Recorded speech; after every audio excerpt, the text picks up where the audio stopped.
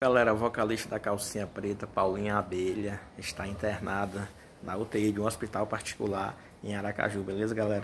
Vou trazer todos os detalhes aqui, mas antes vou pedir para você que não é inscrito aqui no canal, se inscreva, comenta, deixa aquele like, fortalece demais o canal. Simbora pro vídeo! Galera, vocalista da calcinha preta, Paulinha Abelha, está internada na UTI de um hospital particular em Aracaju, beleza, galera?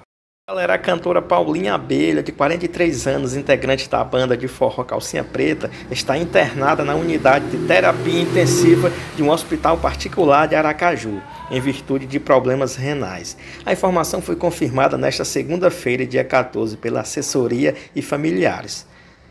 É, a artista foi hospitalizada na última sexta-feira, dia 11. O quadro de saúde é considerado estável.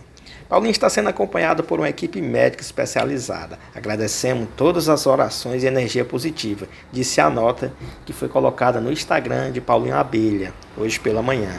Exames seguem sendo feitos né, para descobrir a gravidade do caso. A previsão é que a cantora, olha, notícia boa, gente, né? A previsão é que a